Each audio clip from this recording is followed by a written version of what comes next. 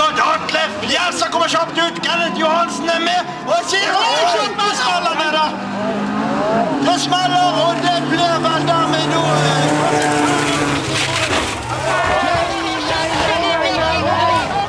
Få ned flaggpostene med en eneste gang og få ut den mannen!